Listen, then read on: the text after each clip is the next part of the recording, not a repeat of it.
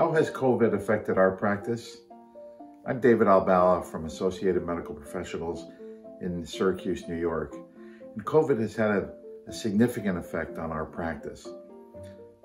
We've had two people in our practice with direct links to COVID. One is a sister of a nurse, developed COVID and passed away just recently.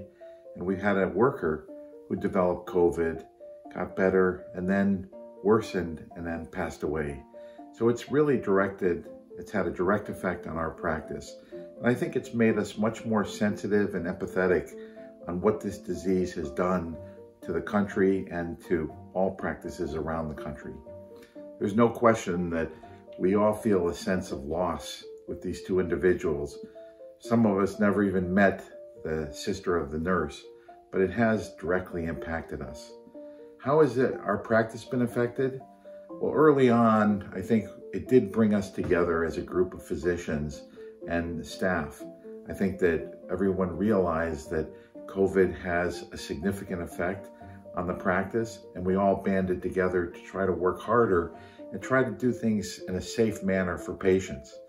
We did expand our telehealth program, which was incredible because now we can offer a different option for patients on how they can get their care urologically.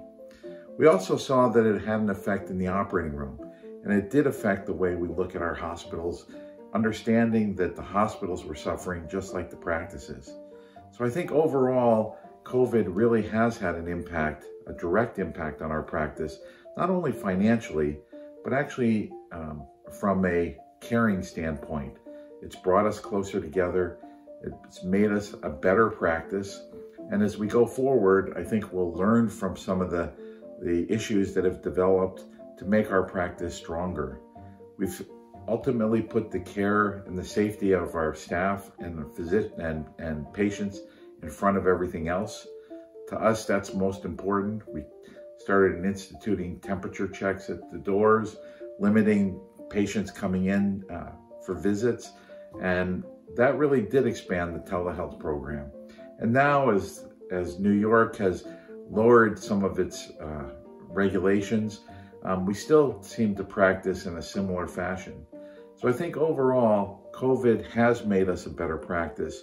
It was difficult at times, but as a practice, we grew together and bonded together and tried to make us much better, even despite the pandemic.